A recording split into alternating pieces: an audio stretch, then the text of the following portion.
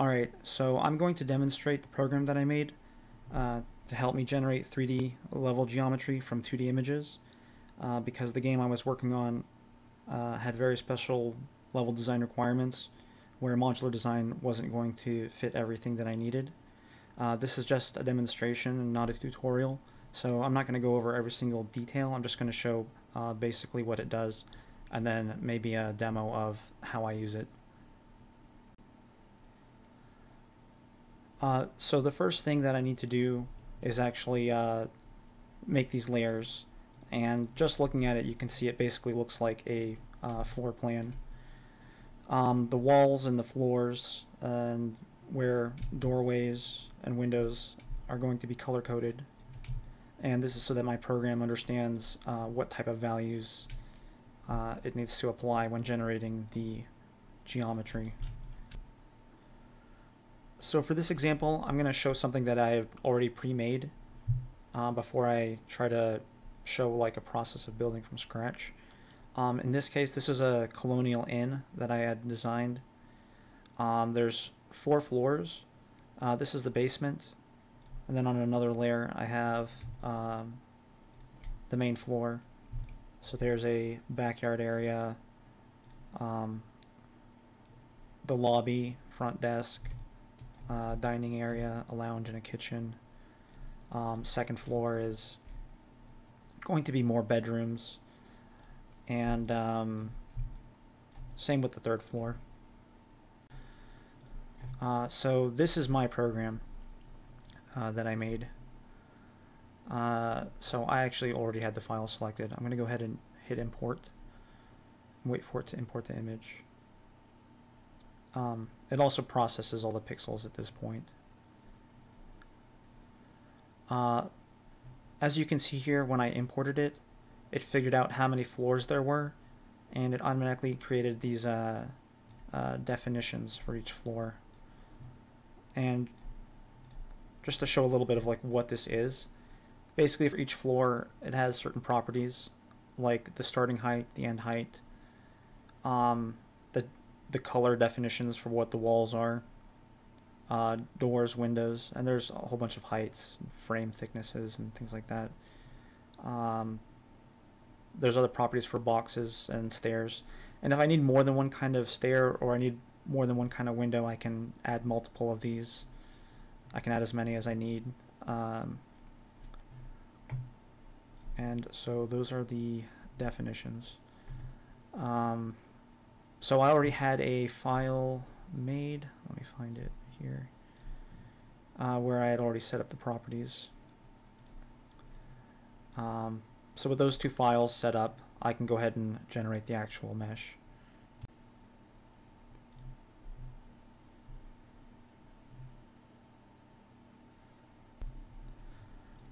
Okay, so the build is finished.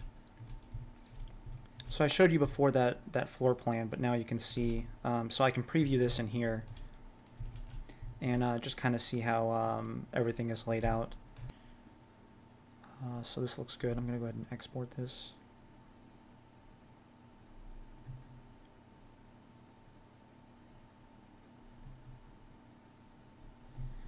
All right. Now I'm going to go to Unreal. And I already had this level uh, set up just so I could demonstrate this quickly. Uh, I don't know what changes I made to this, so I'm going to go ahead and re-import this mesh real quick.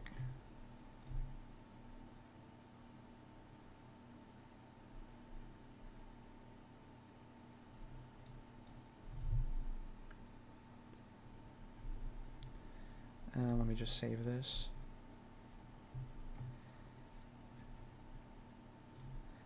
Uh, also, just to show this uh, in the static mesh uh, preview. Um, so yeah, it exported uh, what I needed. Um, pretty much the same geometry that was in uh, showing in my program. Uh, but in here I want to demonstrate, or actually just show also, the simple collision. This might be hard to see on the video because the green lines are so thin. but again, it generates all the simple collision.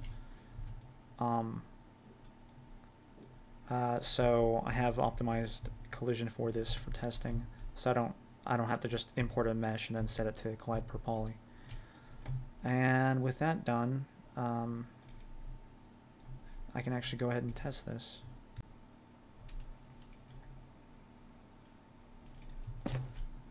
Alright, so I'm going to go ahead and walk around here. So this was the lounge area. This was the lobby. Over here was the kitchen. And uh, used uh, some color from my box definition to put where I where I believe I'm going to have the steam table, uh, the stove, uh, prep tables.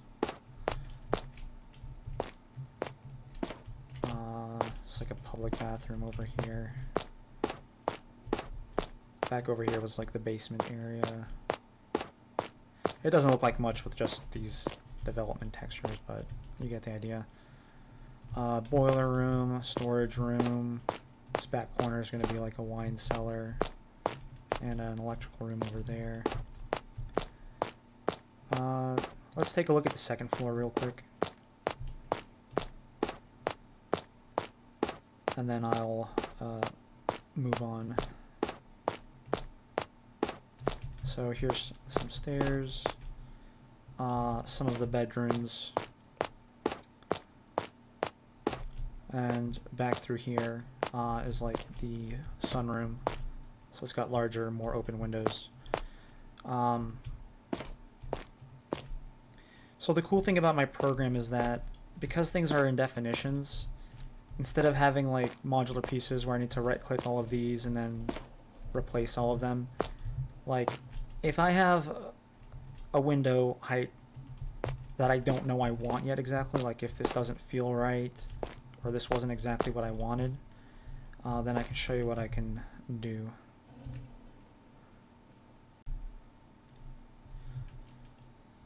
So back in my program, I'm going to go to the, so the second floor will be here, level 2 definitions. Uh, so those windows, I believe, were this definition here. Uh, so let's say I didn't, and let's take a look. Uh, so let's say I didn't like uh, these being just uh, 20 units. Uh, let's say I wanted them at like 80 and the top height at uh, 280. Um, I can just change the definition here and then I can hit build and then we'll see what it looks like.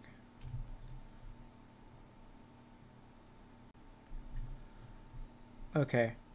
Um, so actually 280 was too high, it was right at the ceiling. Uh, so I changed it uh, down to 260. Uh, but so now I have different windows just by uh, changing that definition. Um, since this is all set up, I just hit another button to export again.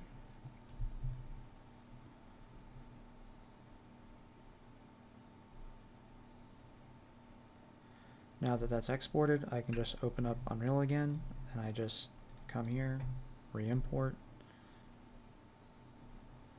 give it a moment.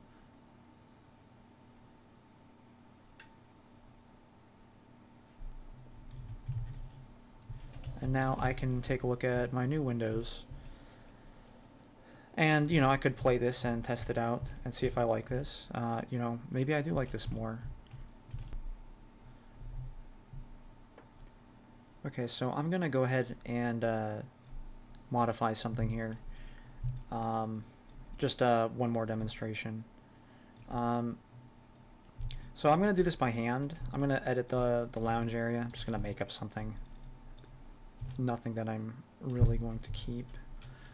Uh, so instead of this other back porch area, I'm going to make this, say I want this to be like a laundry room. Uh, so I'm going to go ahead and start editing this. Um,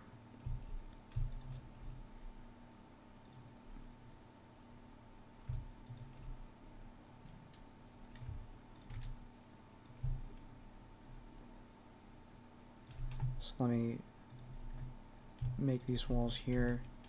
Uh, these double doors, I want to move these uh, to be more centered. So we'll just move them there. Um, so I made a space here. This could be like a fireplace. I put a wall here with two doors.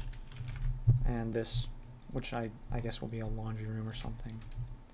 And this could be a bar and this could be like the lounge. This is like, I don't know. But anyways, uh, let's go ahead and save this and just uh, test this real quick. So I made a change there.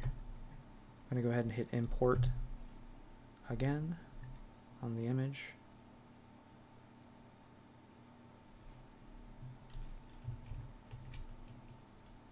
And the lounge is this space right here. I'm going to go ahead and do another build.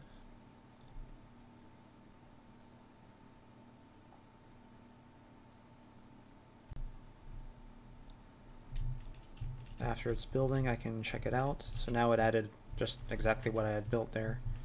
That weird box space and these, uh, you know, now it's the room is separated by two more doors. This is now enclosed, so I can use it for my laundry room. And this could be a bar, this could be a lounge, and over here's the fireplace spot, maybe. And yeah, so that's one way I um, edit I'd like to show one last demonstration real quick of uh, how I might go about prototyping like a section of a building where I'm not really sure exactly what, what I want. Like I said before, um, I can have uh, pre-made stuff. So for example, I can have a room that's pre-made or uh, different layouts of rooms that take up the same space that I can kind of uh, uh put into place where I need to. Uh, to quickly uh, flesh something out. And I could make like a whole bunch of these that I just kind of have on, on hand, just like a library of them that I can just pick and choose. And uh, see. So I'm going to take this uh, apartment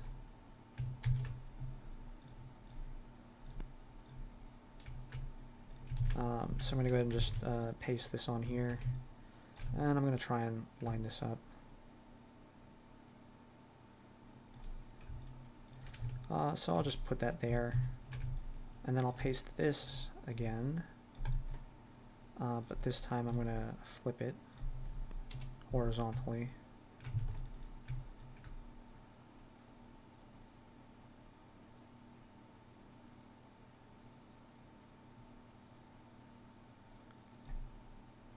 Because this is kind of,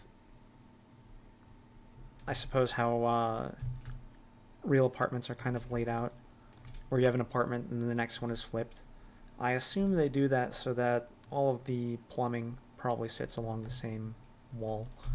Uh, I'm not exactly an architect, so I'm not sure, but yep. And now I can just copy this, paste this again, except now I can flip this.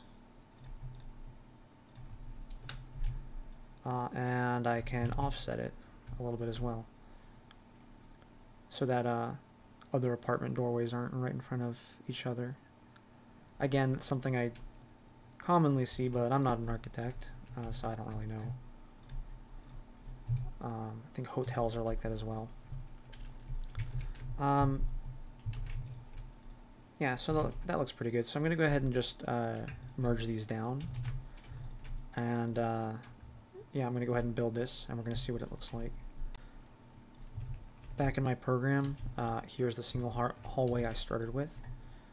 I'm going to go ahead and uh, import the file, the new file that I saved.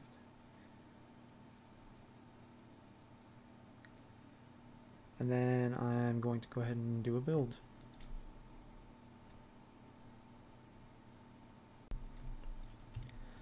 And here's what it looks like after I built it. Uh, looks good. So I'm going to go ahead and export this.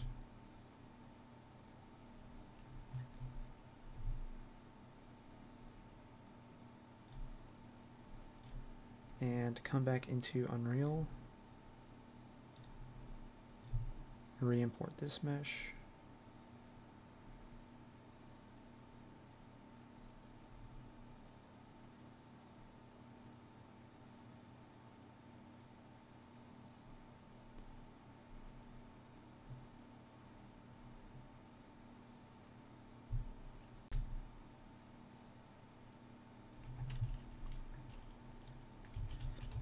So now I got it back here in Unreal.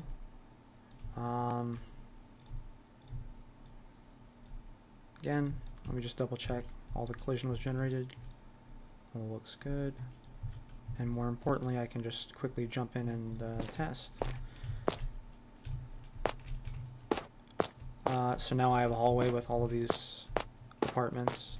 Oh, bedroom area, closet, uh, bathroom. So this is sort of like a living room, kitchen split. I forget exactly what this was when I was designing it. Um, but yeah, now I have all these uh, rooms in the hallway, and so I can quickly uh, build and lay out like larger things. Like if I want to build a full apartment complex, you know, once I get a floor done, I can duplicate the floor, make changes. If I need to add a stairwell, I can add that, add the lobby, and then I have an entire comp, you know, apartment complex. Or, or if I wanted to build a hospital or whatever I need. Um, now this doesn't really show, I didn't really demonstrate my exact workflow. Obviously there's a lot of things I need to do. Like I do lay down a general design of what I want. I do research on the architecture and floor plans for what I need to build. Um, and again, uh, the reason why I use this is because there's some things where I'm just not going to have modular pieces where I'm going to need special cases for closets and specific type of bathrooms and you know wall dividers across kitchens and things like that. So, um, but this, uh, you know, I can very, very, very quickly prototype very large uh, environments, and that's what I use it for. Uh, so that's basically it.